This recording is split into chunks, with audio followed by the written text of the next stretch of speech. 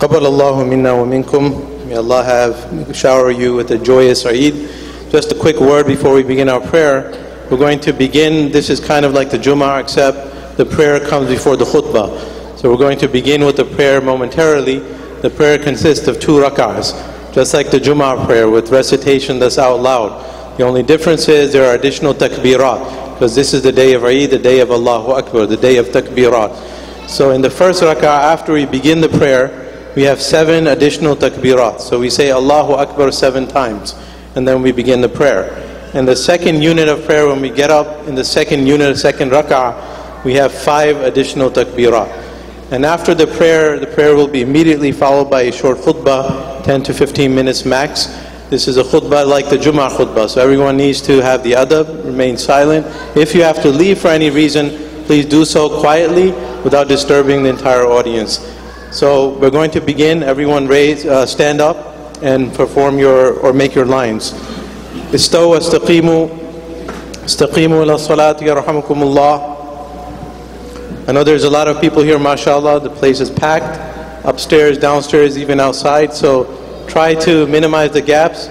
Move forward as much as you can. I'll give you some time to form the lines. If you see any gaps, move forward and try to fish, uh, fill in the gaps. استووا استقيموا استقيموا إلى الصلاة يرحمكم الله. The same goes for outside and downstairs. Try to make your rows as straight as you can. Try to make room for your brothers and sisters. Staq- And the sisters, if you don't find space up here, the basement also has plenty of space. So you can go down the stairs into the basement. For the brothers, we have ba- in the back and we have downstairs and also outside in the parking lot there's some space. استقيموا إلى الصلاة يرحمكم الله.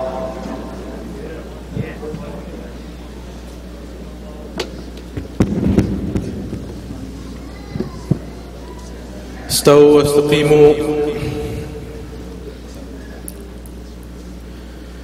الله أكبر. الله أكبر. الله أكبر. الله أكبر. الله أكبر. الله أكبر. الله أكبر. الله أكبر. الحمد لله رب العالمين. الرحمن الرحيم. مالك يوم الدين. إياك نعبد وإياك نستعين. اهدنا الصراط المستقيم. صراط الذين أنعمت عليهم غير المغضوب عليهم ولا الضالين.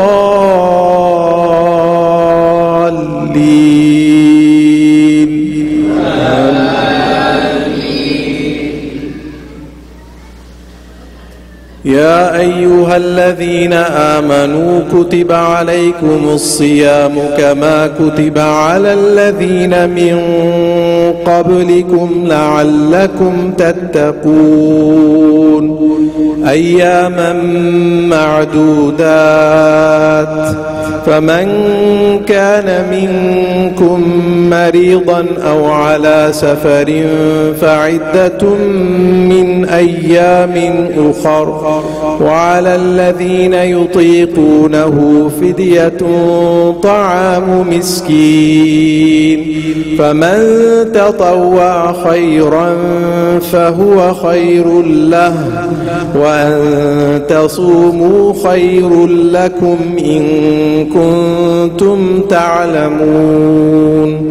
شهر رمضان الذي أنزل فيه القرآن هدى للناس وبينات من الهدى والفرقان فمن شهد منكم الشهر فليصم ومن كان مريضا أو على سفر فعدة من أيام أخر.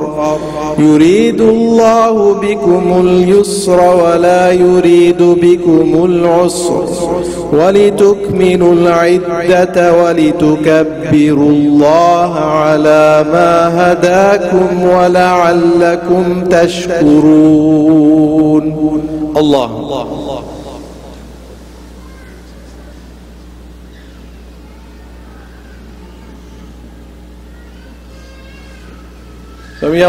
لمن حمده. الله أكبر.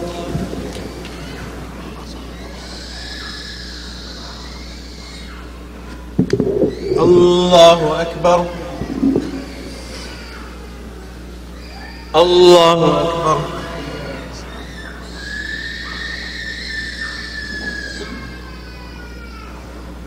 الله أكبر. الله أكبر. الله أكبر. الله أكبر. الله أكبر. الله أكبر. الحمد لله رب العالمين. الرحمن الرحيم. مالك يوم الدين. إياك نعبد وإياك نستعين. اهدنا الصراط المستقيم. صراط الذين أنعمت عليهم غير المغضوب عليهم ولا الضالين.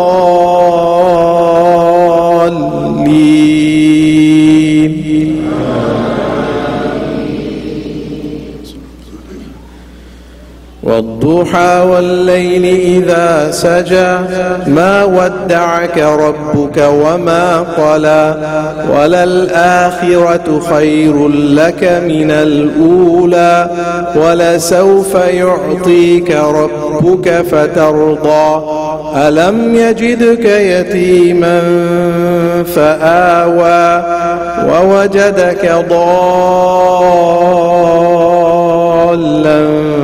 فهدى ووجدك عائلا فأغنى. فأما اليتيم فلا تقهر وأما السائل فلا تنهر. وأما بنعمة ربك فحدث. الله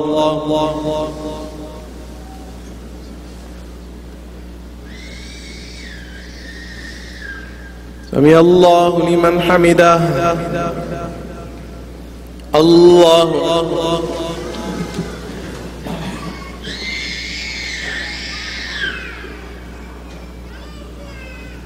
الله أكبر. الله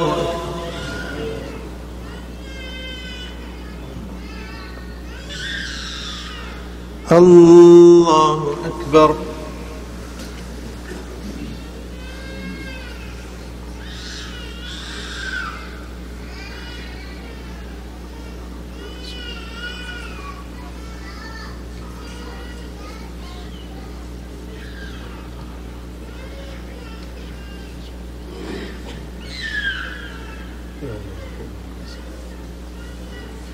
السلام عليكم ورحمة الله. السلام عليكم ورحمة الله.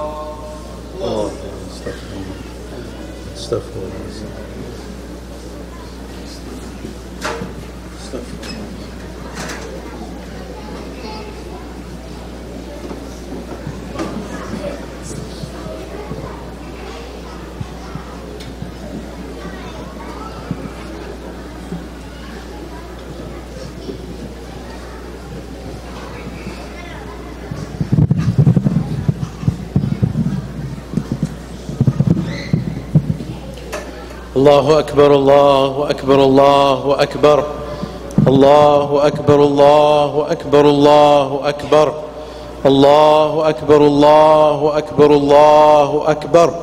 إن الحمد لله نحمده ونستعينه ونستغفره ونعوذ بالله من شرور أنفسنا ومن سيئات أعمالنا.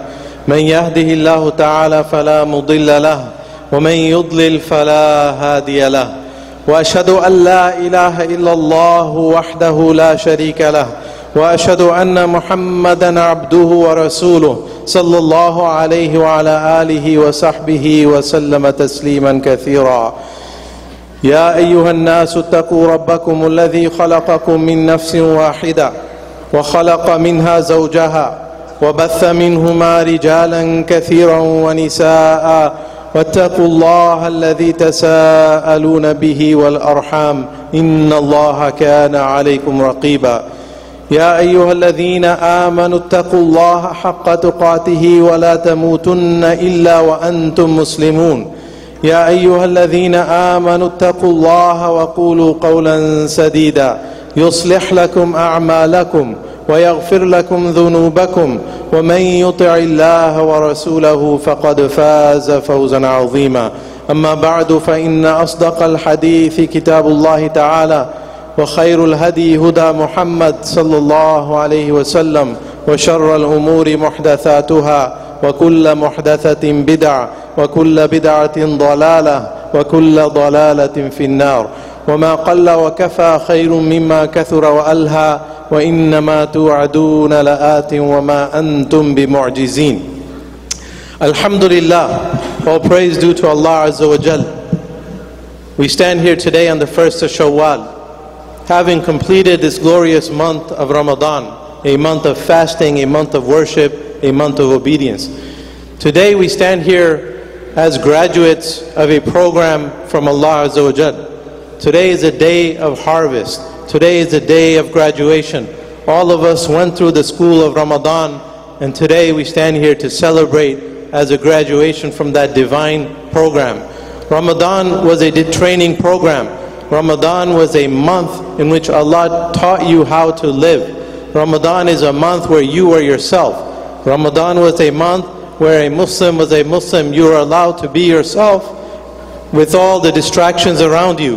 Ramadan was a month where you obeyed the command of Allah. Allah commanded you in this month, Kutiba alaykum siyam and you obeyed. And for 29 days, all of you fasted, despite being long summer days. The longest day of the year coincided with the 27th. Allah commanded or Allah reminded us in the beginning of these, this passage about Ramadan, ayyam and ma'dudat, that it's just going to be just a few days. So we were reassured, and boy was Allah right when it was just a few days. Every single person here that I've spoken to, and everyone here I believe shares the same sentiment. This month went by so fast. One of my friends wrote that it seemed like he went to sleep in Ramadan and he just woke up on Eid al-Fitr. This is a beautiful description of what the month is like and what our whole lives are like. Allah says, ayyam and ma'dudat. Allah could have said it's an entire month. That sounds like it's a lot But He used the expression, it's just a few days, as a gentle, beautiful reminder that it's going to go by very fast unless you take advantage of it. And also it's a reassurance. You know, before the month came, we were thinking, wow, you know, iftar is after 8.30, sometimes 8.33, the longest day of the year is going to be here. How are we going to do it? Allah gave you the energy to do it. Allah commanded us in the Quran, فَمَنْ كَانَ مِنْكُمْ مَرِيضًا أَوْ عَلَى سَفَرٍ فَعِدَّةٌ مِنْ أَيَّامٍ أُخَرٍ Any of you sick, any of you on a journey, make up the days on another day. So we obeyed the command of Allah. Many of us who were traveling, many of us who had family members, many of us who were ill, we chose to take that option, that command of Allah in obedience to Allah. Allah commanded in the Quran, فَكُلُوا وَاشْرَبُوا حَتَّى يَتَبَيَّنَ لَكُمُ الْخَيْطُ الْأَبْيَضُ مِنَ الْخَيْطِ الْأَسْوَدِ مِنَ الْفَجْرِ Eat and drink during the night. Fast during the day, but at night you need to eat, you need to drink until the time of dawn comes and you can see clearly. And we obeyed the command of Allah by eating and drinking at night. Allah said in Shahru Ramadan alladhi unzila fihi al-Quran. This is the month in which the Quran was revealed. And all of us, we attached ourselves with the Quran. We recited the Quran. Alhamdulillah, many of us finished reading the Quran from beginning to end. All of our communities, they held the Taraweeh prayer. and they recited the entire Quran beginning to end. May Allah accept from all of us. So, in short, in Ramadan, we were obeying the command of Allah. Just like He commanded all of these things, He commanded at the end, وَلِتُكْمِلُوا الْعِدَّةِ وَلِتُكَبِّرُوا اللَّهَ عَلَى مَا هَدَاكُمْ وَلَعَلَّكُمْ تَشْكُرُونَ And so we are here today. Allah says, complete the term of Ramadan. Complete those fixed number of days and then say takbir, glorify, magnify Allah. Say the takbirat on the day of graduation. وَلَعَلَّكُمْ تَشْكُرُونَ The reason, the reason is we are here today, the sentiment of today is a sentiment of gratitude. Allah says so that you may be grateful. So today if there's one thing you need to think about is to reflect and be grateful to Allah Azza wa Jal for all the great blessings that He has showered upon us. Be grateful for the month of Ramadan. When you're grateful, you need to list some of the blessings Allah showered upon you. Although it is impossible for a human being to list everything that Allah favored us with, it's impossible to make a list. But at the same time, you need to try. And Allah tells us to say Alhamdulillah for specific blessing. So we say Alhamdulillah for the blessing of the Quran, for instance. Alhamdulillah alladhi anzala ala abdihi al-kitab wa lam yaj'al lahu.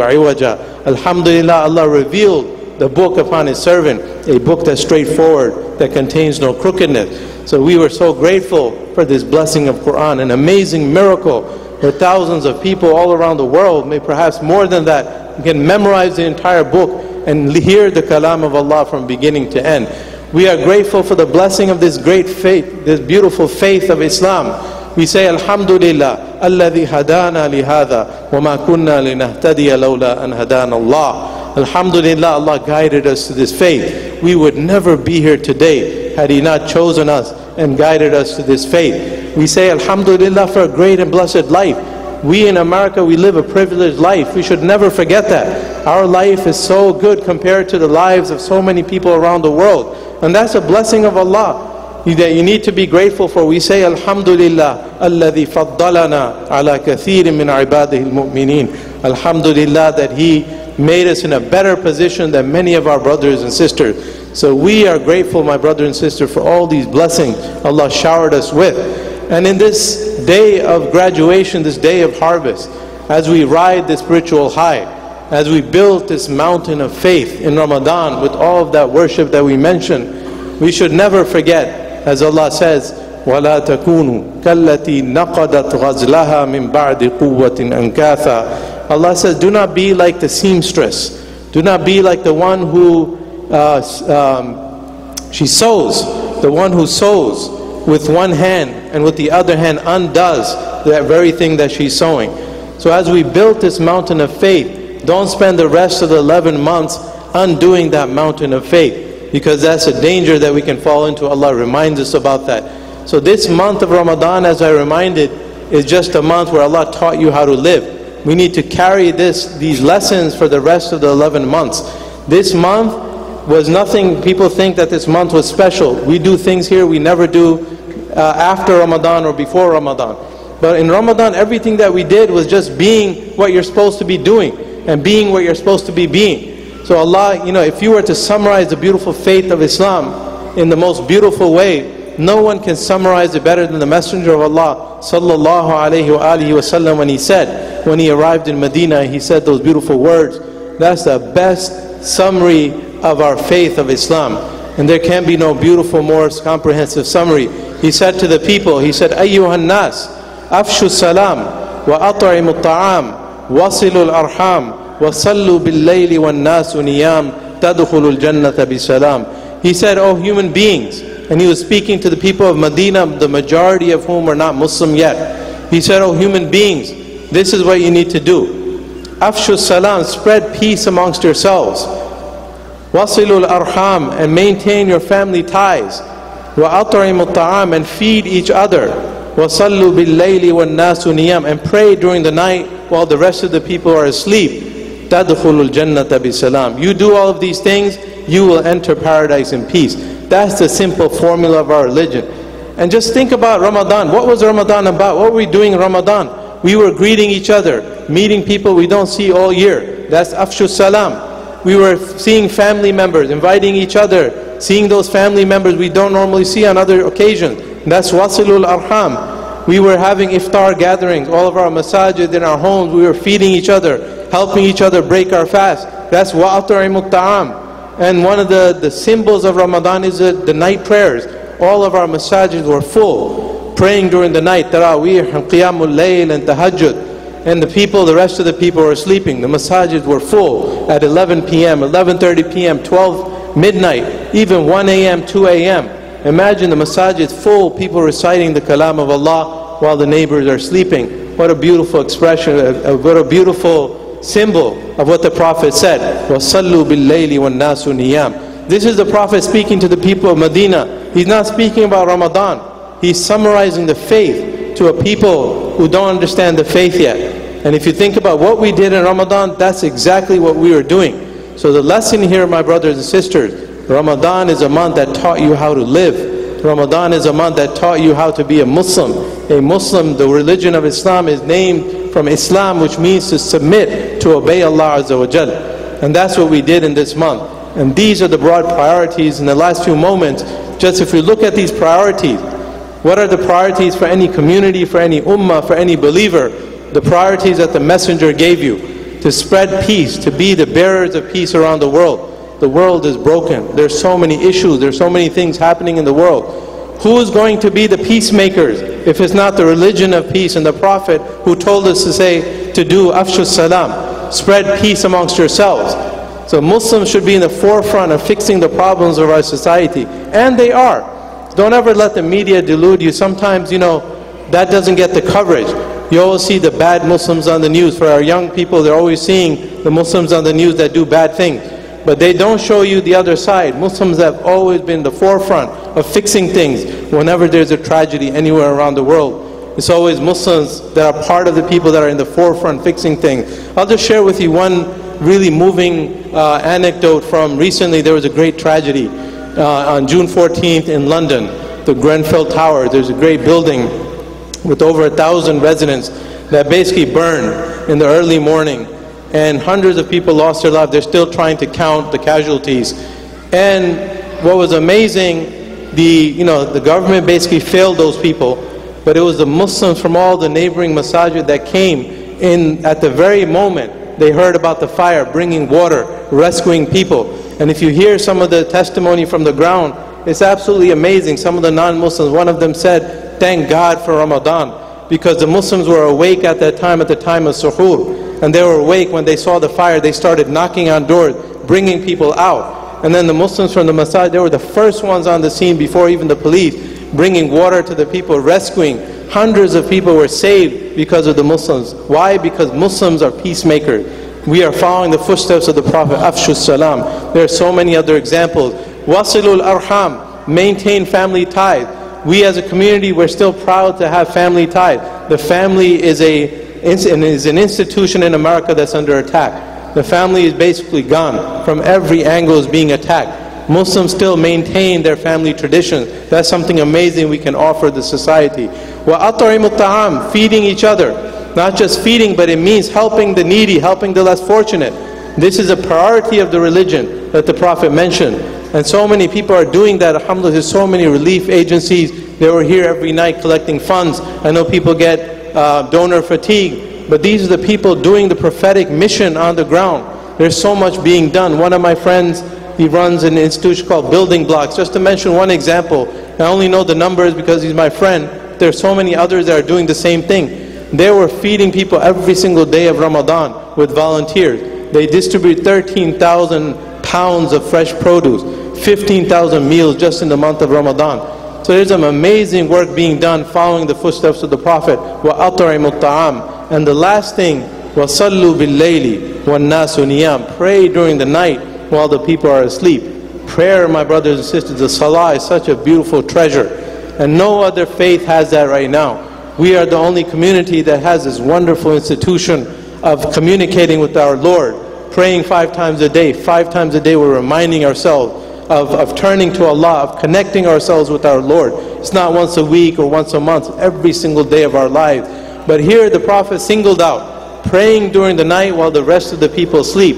This is Qiyamul Layl. You know, the five prayers are already given. But the Qiyamul Layl is an extra thing. It's an honor of this ummah. It's something that's so important that the Prophet mentioned it in Medina. Why? Because that's what builds your character. Qiyamul Layl for the early Muslims was wajib. The early Muslims, because they had to build their iman and their character, they had to pray Qiyamul Layl every single day. And the Prophet ﷺ, he never left Qiyamul Layl in sickness or in health, in travel or in, in when he was local. This is something he adopted for his entire life. We did that in the month of Ramadan. Let's not forget that after Ramadan. There's no reason not to continue Qiyamul Layl. After Ramadan, it's better to do it at home, tahajjud prayer. Every single Muslim should make some schedule in their life to connect with their Lord. There's a beauty to connecting with Allah in the middle of the night where everyone else is asleep. There are no distractions around you.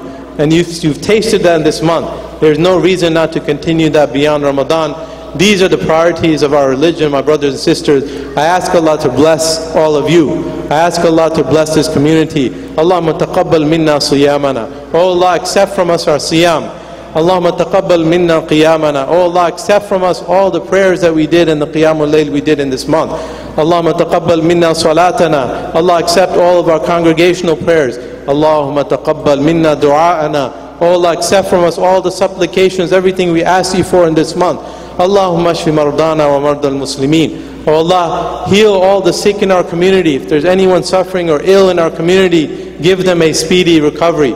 Allah marham mautana wa mautal muslimin. Oh Allah, bless those of us who have passed in our community and from our relatives, from the people we know, and from all of the Muslims.